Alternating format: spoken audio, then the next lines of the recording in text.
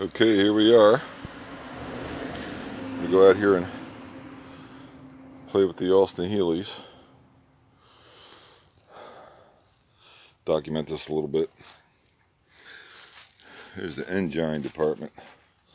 I don't know how well it's showing, but it's all there. Haven't tried to do anything with it. Here's the parts car. It's basically folding in half. But this one, I don't know if you can see that bubbly tire has a tire pressure issue. Not too bad, at least on this side. Uh, well, a scorcher of a day. But I'm in semi-shade here. Boy, this shade really does block it. This ancient tire is actually still holding air. Put a little mud down here, a little mud over there. Bottom of the door had mud in it, but I think it's it looks okay. The other side's a little rougher. Let's see if I can get around there.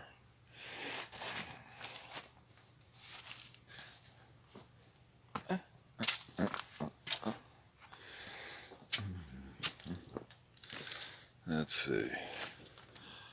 A spot that fender and up, up the door edge and the bottom of this door. And then there's this fender. I may be putting some metal on the bottom of that. And I guess the bottom of this. So,